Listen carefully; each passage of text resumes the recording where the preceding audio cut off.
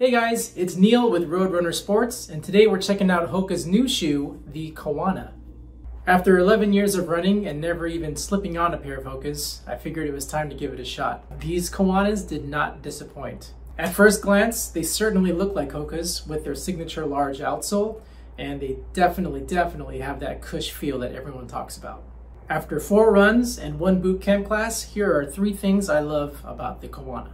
Number one, it's comfy. I just never bought into the hype of cushion in the past, and I stuck to my tried and true stuff. Uh, but I gotta tell you, once after putting these on, I immediately understood why so many people are running in Hoka's today. Number two, they're fast, or at least they make me feel faster. Uh, that could be because it is a comfortable shoe. Every step just feels great, and that leads to more energy. And really, every step I took in these, uh, one running, just felt like a mini launch.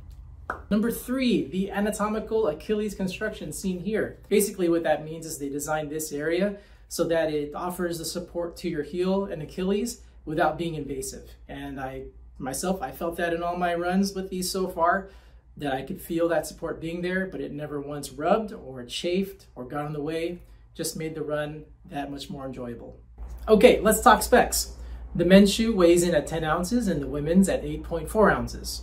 Both shoes have a heel to toe drop of 5 millimeters. And at $140 retail, this shoe will support you through both your runs and your workouts. If you're a runner or a gym rat or both, I believe this shoe is for you as it can do both and transition in between running and workouts pretty seamlessly. So how does it fit? Well, the short answer is very well. I experienced no hot spots or discomfort, and that's both from my initial try on up to my last mile of my fourth run. The upper feels extremely flexy, um, and that's really led to no break-in time. My first run felt like I'd been running in them for weeks. You might notice that the outsole has a tail feature. The Hoka calls this the swallowtail heel. And what that does is, for a heel striker, you'd come down on this first and it actually absorbs some of that energy and impact. When you finish your stride, it's a much smoother step.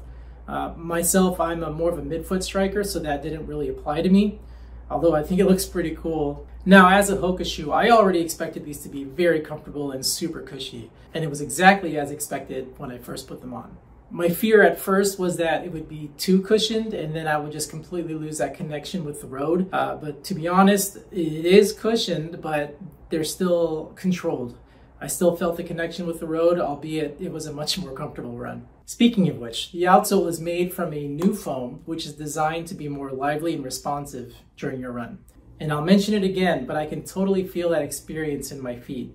And you should be able to see it here in this slow-mo clip of the shoes in action. If I could change one thing about this shoe, it would probably be the materials of the aglets, which are these pieces at the end of the laces, and the eyelets.